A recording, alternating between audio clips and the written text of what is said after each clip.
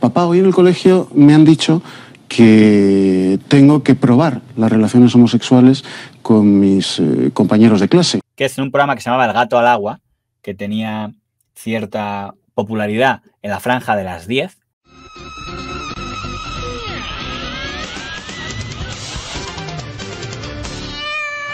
Como en, en el TDT, era la tertulia política más escuchada de las que había en la TDT.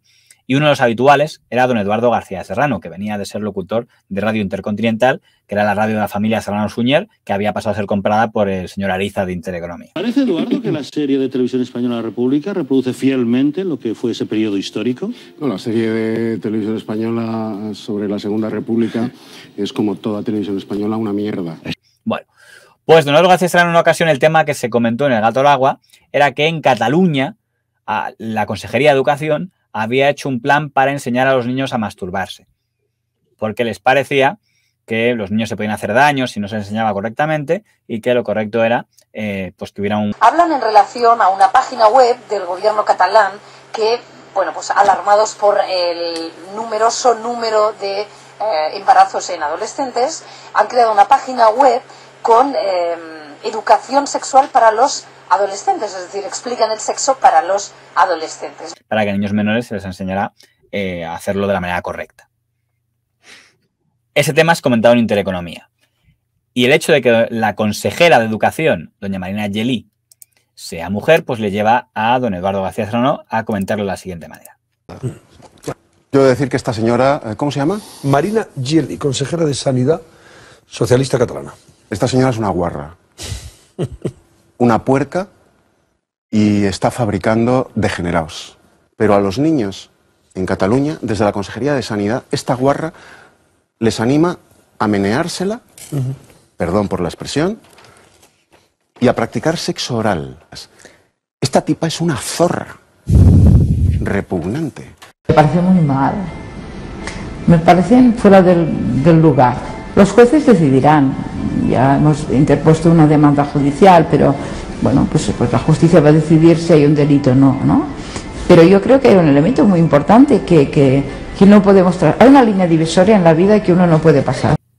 Si quiere usted, antes de hablar del tema del tertuliano, puede comentar el tema en sí. Usted es padre y le podrá parecer... Es, eh... Hay dos cosas que quiero saber. Primero, hasta qué punto... Eh, porque conozco también a estas personas, cómo se las suelen gastar en los debates, cómo suelen contrastar y cómo suelen hablar de ciertos eh, temas educativos. Me encantaría ver exactamente cómo es. Y yo le puedo decir perfectamente que no estoy de acuerdo y lo puedo expresar de otra manera o lo que sea. Me gustaría saber hasta qué pues, punto es todo cierto, cómo es. Vamos a ver, si usted está preguntando si es que ha aparecido un profesor en un colegio y ha dicho niños, ahora todos a cascárselas, eso no es correcto. Es una página web. Una web que tú desde tu casa te conectas a ella y efectivamente te da una serie de indicaciones de cómo hacer penetración sin penetrar del todo y cosas del estilo. Como yo pertenezco a una familia en la que ese tipo de cosas eh, era, no estaban muy presentes, tampoco la conozco con detalle, pero recuerdo que como periodista en ese tema, cuando salió el tema, es lo que más o menos se contaba. Eh, ¿Por qué lo dice? Porque le, le, parece que la forma en la que lo está contando puede hacer que alguien se piense que es algo mucho más bestia lo que es, que es, que es una sí, web para sea, informar. Sea, sea como sea, aunque sea una web para informar, hay que ver para quién está dedicada esa web, ¿vale? Para qué personas. Eh, si estamos hablando, se habla de menores, se está hablando de niños. Eh, vamos a ver, la educación sexual es súper importante, es muy, muy importante. Yo no sé cómo es esa página web, eh, creo que hay veces que, que, se hace, se intentan acercar a los jóvenes y lo hacen mal, lo hacen de una forma equivocada, pero creo que es importante a los chavales de a partir de 13, 14 años darles ciertas indicaciones. No hay que enseñarles cómo masturbarse, ¿vale? Por si se hacen daño o no. Creo que eso es una cosa que todo el mundo puede aprender solo y si alguien se hace daño, pues mira, honestamente, hay que ser muy torpe, pero bueno, da igual, si no, pues aprendes. Que es que tampoco, en fin. Pero, yo, yo, puedo aportar poco en este campo, ya lo sabe usted. Bueno, sea, sea como sea, creo que en el tema de la educación sexual es muy, muy importante, pero también hay que saber cómo tratarla y cómo hacerlo y cómo acercarte a, a, los jóvenes. Estoy hablando a los adolescentes, ¿vale? Es importante. Eh, pero este hombre empieza a desvariar. Los insultos sobran totalmente. Entonces, pues oiga, eh, yo, por supuesto, que estoy totalmente en contra, evidentemente, de que, de que los profesores o ciertas personas alienten o se metan en ciertas cosas, pero creo que lo que hay que hacer es educar, educar para no tener que lamentar conductas equivocadas y erróneas en el futuro. Así lo contaron estos. Es lo que en Intereconomía eh, le llamaron a la consejera de Sanidad, Marina Geli, por cierto, una de las mejor valoradas en el gobierno de Cataluña. ¿Quién es este que habla con esta...? Es uno de los... No, Ya, no recuerdo importa. el nombre. Es uno de los tertulianos de Intereconomía Televisión. Guarra, puerca, degenerado, Sí. Falta un, un último apelativo. ¿Así? Zorra. También Eduardo García Serrano. aceptarla. Trampa. Esto es una acción que impulsa el Departamento de Sanidad de la Consellería de Sanidad ante el aumento de casos de embarazos de, mm, Adolescentes. de adolescentes y menores de edad. Hay una serie de recomendaciones, no hacer penetración ni eyacular dentro de la vagina, sino que, bueno, pues utilizar otras técnicas como por ejemplo el sexo oral. Esto es lo que dice, que puede ser discutible o no, Sí, sí. pero claro, no tiene nada que ver Con lo que dices... con la extrapolación que Cuando alguien para defender sus ideas tiene que llamar puerca y guarra a otra Ese persona, es otro tema. es que no tiene, es que no tiene, es que no tiene argumentos. Bueno, eh, es lamentable, es de insolvencia intelectual total. Perdone, le voy a decir una cosa. Estoy de acuerdo, ¿eh? efectivamente, es que aquí este hombre se descalifica a sí mismo utilizando este tipo de, de- de insultos. Pero también opino que eh, los, los- los cimientos sobre los que hacen eh, esta, esta, eh, ¿cómo se llama esta persona? Em, Monegal, Otero. no, no, no, joder, la, la ministra esta de, de Cataluña. Ah, Marina Geli. Marina Geli, eso es. Eh, creo que se equivocan cuando dicen, no, para evitar la penetración y eyacular dentro de la vagina, pues plantean alternativas. No tienes tampoco. ah, que- quiero decir, creo que tienes que enseñar, pero vamos, esto es mi, mi- idea, es decir, de, de las consecuencias que puede tener eh, la penetración, de la, eh, eh, las consecuencias que puede tener la marcha atrás, las consecuencias que puede tener, pues, meterla un poco, y, pues, es lo que estamos hablando aquí, y este tipo de cosas.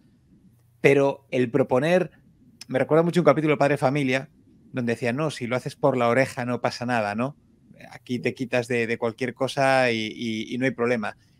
Ciertas alternativas, no sé si es necesario enseñarlas. Simplemente creo que, porque creo que los jóvenes lo saben, pero simplemente también creo que también tienes que hablar de, que no sé si lo harían, de los riesgos del sexo oral. Evidentemente con el sexo oral no va a haber embarazo, pero también puede haber eh, eh, transmisión de enfermedades. Todo eso hay que contarlo, supongo que se cuenta, pero a mí plantear el sexo oral como alternativa no me parece. Creo que tienes que explicar todas las opciones sexuales que hay y las consecuencias que puede tener cada uno. Eso es lo que creo que hay que hacer y que a partir de ahí el joven, el adolescente, elija. Pero lo que creo que hay que hacer, como digo yo, es educar. Y ya está, no hay más. El jueves, después de la intervención, volvió a aparecer don Eduardo García Serrano, pero en un tono bastante diferente. Bueno, esta noche antes de, de abrir el debate, quiero pedirle disculpas nuevamente, ya lo hice el martes, antes de concluir este programa. En primer lugar a la afectada, la consejera de Sanidad de la Generalitat de Cataluña, Marina Llevi. Y también a ustedes, señores catodistas, por las palabras despectivas que Eduardo García Serrano dirigió contra ella el pasado jueves a propósito de una guía sexual para jóvenes patrocinada por su consejería. Este lunes, en un correo electrónico enviado también a la señora consejera, le pedí asimismo a la señora Yeli sinceras disculpas en nombre del programa y en el convencimiento de que las críticas y las discrepancias por motivos ideológicos no pueden amparar ni justificar de manera alguna Juan José Aizcorbe. Efectivamente, yo me quiero dirigir eh, eh, de manera muy personal y muy directa a la afectada por esos tres adjetivos que yo utilicé para ah, calificar una conducta mm, vulnerando ese espacio ético y moral que un periodista no debe eh, sobrepasar jamás, que es el de calificar a la persona dejando al margen los hechos. Las personas están más allá en su mismidad como personas de, de los hechos. Por lo menos para mí, que eh, soy un hombre y soy católico. Y en esa doble condición, señora Yeli, yo le quiero pedir sinceramente esta noche de corazón perdón. Y le quiero hacer llegar eh, una uh, reflexión muy personal. Eh, a partir del jueves pasado, a usted le están presentando a Eduardo García Serrano en la práctica totalidad de las tribunas y de los foros periodísticos eh, de España, es un auténtico canalla y un auténtico monstruo.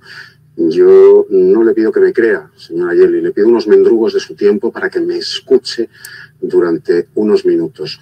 Verá, eh, cuando las palabras se nos caen de la boca, eh, no se pueden recoger como las velas de un barco o como la cordada de una escalada. Ahí quedan.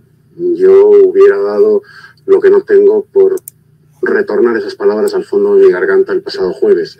Metafísica y físicamente eso es imposible. Por eso eh, le pido perdón de corazón. De corazón. Y se lo pido en esa doble condición que le he mencionado antes. Soy un hombre y soy católico. Recogiendo cable, recogiendo cable, recogiendo cable. Cuando pronuncié esas palabras, comenzaron ese mismo instante a pesarme en la conciencia, en el corazón y en el alma. ¿Eh? Eh, necesito que usted me perdone para volver a sentirme limpio, sencillamente. ¿eh? Eh, Fariseos, sepulcros banqueados, decía Jesucristo. Ay, Dios. La frase de Jesucristo era guardaos la levadura de los fariseos, que es la hipocresía, ¿no? Que- una, una vostè. Sí, sí, he emprat una... Jo somric, sincerament, Però s'ha perquè... carallat vostè. Sí, emprat le han puesto el vídeo y dice, yo sonrío viéndolo. ¿Pero se ha creyado? Sí, sí, me he creyado. una, una demanda eh, doncs, penal per injúries, però aquí Me he creyado contra él por injurias. encara va dir això, va anar repetint dona, no? Perquè hi ha un punt de masclisme molt important. Hay un punto de machismo muy importante en este señor. Aquestes declaracions eren aquest punt que m'agradaria saber si ho hagués fet igual amb un conseller, no? Me gustaría saber si hubiera hecho esas mismas declaraciones si en vez de ser consejero hubiera sido consejero. Però a part d'això també va anar repetint socialista i catalana, però pervertidora, bueno, unes coses... El perdona. Sí, sí, el perdó no exclou que ens trobarem als jutjats, eh? Digo, le perdona, le perdonó, claro. El que no puc tolerar és que pensin que la política, la política no és moral, eh? Això no puc tolerar-ho. Lo que no le perdono es que hubiera dicho que la política es inmoral, eso no puedo tolerarlo. Luego este señor se fue del PSOE porque era, fue independentista, pero eso para esta pieza es irrelevante. Varias cosas. Eh, voy a decir antes lo primero a Marina Yeli. Yo creo que ella no lo estaría viendo en directo, pero está viendo eso en directo y, ante, y en vez de no se va llorando la cama, se va diciendo, uff, ha metido la pata, ha entrado, ha caído, porque en este caso lo de él es muy torpe lo que hace, es muy torpe. O sea, que un profesional, que un periodista se deje llevar por sus sentimientos, por su corazón, porque cuando insultó, sí lo hizo de corazón porque es lo que le salía de dentro, porque no lo pudo controlar. Que alguien se deje llevar por eso, profesionalmente te mata. Cuando vuelve y ya deja de ser Mr. Hyde y es el Dr. Jekyll y se arrastra y pide perdón y dice tantas veces lo de soy católico, soy católico. De verdad, creo que, que la recogida de cable es tan patética, es tan Claro. patética, pero no le quedaba otra. O sea, ese momento en Fíjate, que está... Cuando, cuando eso ocurre, hay gente que se, que se mosquea en la parroquia intereconómica. Menuda bajada de pantalones ha hecho el camarada García Serrano, tal. Eh, claro, aquí se mezclan cosas eh, diferentes en mi caso. Consideración número uno. Yo reconozco y, pido disculpas en que por haberlo pensado, pero yo cuando vi esa declaración en directo, yo todavía vivía en Sonto con, con mis padres, era un becario en periodismo, pero me acuerdo que lo que yo le dije en Sonto a, a mi madre cuando dijo lo de como católico pido perdón, dije, es católico, qué lástima, tenía esperanza de que no lo fuera. Fue lo que yo dije en ese momento eh, como niño repelente. Porque la intervención que yo había visto Esta señora es una guarra. Una puerca. me parecía y- incompatible con lo que yo entendía, con- por- quizá porque yo soy de, de la formación del- oriental, porque el catolicismo que yo he tenido siempre es el filipino, pero que, que era, eh, eh, es, in- es im- eh, improcesable esa forma de dirigirte a alguien. Luego, eh, eh, tengo que decir que em, esta persona, eh, don Eduardo García Serrano, eh, su padre, yo la admiro profundamente, y se lo he dicho a él. Don Rafael García Serrano me parece de los mejores prosistas que ha habido en la historia del periodismo español. Antidemócrata, ¿eh? No era totalmente un hombre que, pero es de su siglo, vivió la guerra civil y se quedó en esa etapa mentalmente el resto de su vida. Pero los mejores periodistas que ha habido, pues como Aro Teclen, como Calmani, todo este grupo. Pero nunca habla así. O sea, nun- nunca verás una columna de Rafael García Serrano diciendo, putos rojos, cabrones. No, todo lo contrario. Es que Entonces, claro. García Serrano se lo deja aquí muy fácil a ella y cuando dice lo de soy católico, ella come más palomitas porque dice, uff, perfecto, perfecto. O sea, todas esas cosas, el soy católico, el, el arrastrarse en ese momento, el que escúcheme y ahora se lo digo así, el que, el que se arrastre después de soltar todo eso, eso a ella la pone en una posición de poder brutal, brutal. O sea, que, que, que, que él, él, él de verdad que es curioso en un periodista el... Por eso creo que hay que tener mucha, mucho cerebro y mucha mente en ¿Usted ha conocido? profesión. Además, el debate del gato al agua cada día es más similar al de Gran Hermano, con una diferencia. En el debate de Gran Hermano se llaman zorra, guarra, puerca y todas esas cosas a alguien, Mercedes Milá te echa del plató. Y en el del gato al agua el presentador te ríe las gracias. Mira, yo solo espero que la consejera de Sanidad catalana le meta tal puro por esas injurias que la próxima vez antes de hablar se piensa las cosas un poquito. Si es que sabe pensar, claro. Cuando un hombre, perdóneme, cuando un hombre habla de una mujer en términos de zorra repugnante, guarra y puerca, lo que tiene metido aquí, que se lo haga mirar, ¿eh? Que se lo haga mirar, ¿eh? Pues que este señor vaya empezando a leer la web de sexo que tanto critica. ¿Por qué? Para que vaya aprendiendo lo que es que le den bien por él. Vale, lo hemos entendido, muy bien, venga. Ah, pues este hombre, este periodista se llama Eduardo García Serrano, la cadena Intereconomía. y- Sanidad de la, de, de la Generalitat para mostrarle mi solidaridad. Este individuo, que no quiero ni pronunciar el nombre, tiene razón solo en una cosa, ¿no? Estamos en un país siniestro en el que él puede tener un micrófono.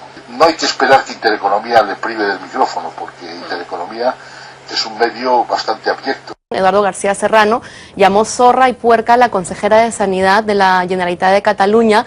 Eh, en fin, eso son cosas... ina- Él, se- el señor Esto es un individuo franquista, es un individuo que reivindica la dictadura de Franco, que le parecía estupenda, claro. ¿no? Sí, claro. Se podían que decir se, que cosas se co- puede- que se puede esperar. Afortunadamente Pero, eh, para ti no la ves mucho, ese pero tipo- sigue ese saliendo. tipo- ese sigue tipo de- saliendo. Me gustaría pedirle perdón a alguien a quien yo sé que las palabras que pronuncié, eh, palabras imperdonables que pronuncié el otro día, eh, sobre todo dirigidas a una mujer como usted, señora Yeli, eh, le hicieron tanto daño como usted. Yo periodísticamente no soy gran cosa, pero mi padre sí era un auténtico maestro del periodismo, Rafael García Serrano. Yo sé que las palabras que pronuncié allá donde él está, que no es otro sitio que el cielo, pues le hirieron tanto como usted. Cosas sobre el señor García Serrano. La primera, que de corazón le empezaron a pesar en la conciencia les palabras una setmana després. És a dir, ja passa, deu ser el retard catòlic. No, sé si a, a, és la manera d'entendre és ell el el dia de la catolicisme. setmana que tornava al ja. programa. Sí, sí, però a veure, primera... Agradecen las excusas, lo que pasa es que incluso cuando se disculpa, pues vuelve a meter la pata, ¿no? Se ve que es un hombre particularmente machista, estas cosas no se deben decir y menos hacia una mujer, lo cual ya otra vez vuelves a meter la pata, ¿no? No, eh, la verdad yo creo que es un hombre muy tradicional, no le gusta innovar, le gusta lo clásico, eh, los buenos maestros de la masturbación están en los confesionarios, es católico y quiere que eso se mantenga, ¿no? El perdona? Sí, sí, el perdó no és clau, que ens trobarem als jutjats, eh? El que no puc tolerar és que pensi que la política, la política no és amoral, eh? Això no puc tolerar-ho. Quisiera pedir perdón, como buen católico que soy, por los lamentables insultos que jamás imaginé sería capaz de pronunciar y menos referidos a una mujer. Pero vamos a ver, un momento, Eduardo, Eduardo, si hoy no has insultado a nadie en concreto. Ahora va, ahora va. Eh, ¿Te he hablado alguna vez de la consejera catalana de salud Marina Cheli? Pues esta zorra tendría que estar en la cárcel por corrupción de menores. Estamos en directo. A ver, eh, a ver, compañeros, me parece que se ha cortado la emisión. No, no sé qué. Pero señor, ¿ha cortado la emisión? Hombre, claro, si es que se pasan de fachas. ¡A publicidad! Y, y es lo que digo, puedes explicarlo, puedes expresarlo, puedes decir, no estoy de acuerdo, no puedes hacer eso. Eh, en un debate de intereconomía, le voy a decir una cosa. Tal vez mucha gente le ofendió o lo que sea, pero me apuesto a que muchos aplaudieron esas palabras. De verdad. Pero tuvo más consecuencias que una demanda de Jelly contra García Serrano, que por supuesto le ganó. Eh, se lo pone, se la deja en bandeja. a Bueno, sus- me, gusta que aquí está un tema que no me quería olvidar. Esto me parece interesante. Sí, sí, claro, claro. Yo he dejado la secuencia larga por algo cuando lo he puesto antes, ¿eh? Podría haber puesto el corte, pero es que quería que quedara constan- constancia de, de ese tema. Por eso le estoy diciendo que muchos estaban diciendo, perfecto, tengo aquí este hombre y este hombre está aquí para esto. Don Antonio Jiménez, esto. que es el presentador y director del Gato al Agua, luego estaba enfadísimo, permitimos insulto, tal, tal, tal. Su primera reacción es, eso es lo primero que hace. Y después ¿Por deja que termine. Porque Antonio Jiménez ha traído a este hombre aquí para que haga lo suyo.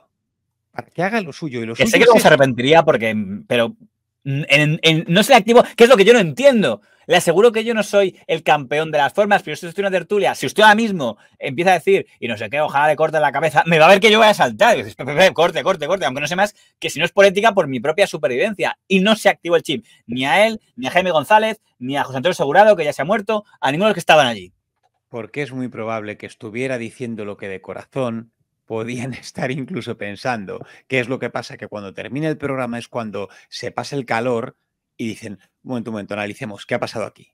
Y a lo mejor les empiezan a venir los toques. Y les dicen, oye, Pues- oye, ¿esto qué ha pasado aquí? Y dicen, "Tienes El, razón, el razón, que Ministerio pedir perdón". de, el Ministerio de Industria abre un expediente contra Intereconomía por, esa, por haber emitido esa pieza, por considerar que eso había vulnerado la legislación para la emisión de, de contenidos. Y aquí yo hice una, una reflexión en favor de Intereconomía. Sé lo que hicisteis, emitió esa secuencia. El intermedio emitió esa secuencia hasta cinco veces. La Noria emitió esa secuencia. Y eh, TV3 emitió esa secuencia. Aparte de ser escuchada por Onda Cero y por Cadena Ser. Pregunta. Si el Ministerio de Industria hay un expediente porque dice que la secuencia es inaceptable y que la- emitirla es infame porque a la gente le, los puede estar viendo menores, es horario infantil, tal. Si esa secuencia también es emitida por eh, eh, Haz la Sexta, 4, Telecinco, TV3, ¿no estarían también que abrir expediente a todos ellos? Que es lo que yo me planteé en una nota que escribí en aquella época. Que no hicieron. me, me hago, me hago la misma pregunta. Es como, eh, están haciendo denuncia de ello, entonces... Sí, pero... nos lo hemos sacado para denunciarlo. Hoy yo sospecho que obligarían a poner pitidos, que no se iba a tener que poner yo en este vídeo. sea como sea, igual que María Yeli en este caso, para ella esto fue una muy buena publicidad, para las cadenas que emitieron también la- el fragmento varias veces, también fue un- una forma de obtener audiencia. Está claro, to- esto es la entrevista al asesino. Todos están en contra de las palabras que ha dicho este hombre, pero dicen, bendita sea, bendito sea este hombre por las palabras que ha dicho, porque esto nos va a dar audiencia cuando lo, pongamos una, dos, tres, cuatro y cinco veces. Hay que decir que la Noria eh, invitó a Doro García Serrano y él no fue, no quiso ir. Con lo cual hubo una Noria para hablar de García Serrano sin García Serrano, ni nadie de Intereconomía, que estaba ahí Raola, Bestringer poniéndola a parir, pero él no quiso ir. Y aunque se hubiera sido una vez, le hubieran podido sacar una pasta. O sea, yo te digo que por lo menos 10.000 euros se podría haber sacado. Lo que yo le diga es que es. eh, mira, está comentando por aquí, retransmitirlo es lícito. Sí, claro que es lícito. La cosa es, alguien a quien estás criticando, alguien que te parece que su actitud ha sido execrable y que le criticaron muchísimo. No, pero, pusieron- pero una cosa, claro, no, no digo que, me- que- que- que es porque la compartiera, es porque el motivo del expediente es porque dicen que emitir esa secuencia atenta contra los menores que la puedan ver. Eso es lo que decía. Por donde dices, oye, entonces no la emitas.